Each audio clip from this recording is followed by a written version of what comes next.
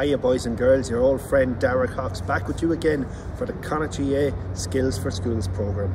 Well, we've learned so many skills over the last few weeks, it's just been so much fun and well, we're playing games for the last few weeks and we're going to keep the focus on the games today because they're just the best part of our GAA family, aren't they? Making friends, playing together, learning new skills and having fun. Well, today's games are going to be a little bit trickier possibly, but I, I reckon you'll be able to manage them. Very, very skillful class, this one. I, I think he can do it. Let's watch the video first. The first one was a little bit of tackling, a little bit of hooking. So it's a very, very good skill to be able to have. Not the easiest to do, but I reckon you guys can do it. Let's watch the video. Using skill points is an excellent way of modifying a game to focus on particular techniques. The coach should modify the rules of the game to focus on the specific technique they are trying to develop. Award points for performing particular techniques successfully, as well as for scoring points or goals. To develop the overhead catch, award points for successful catches.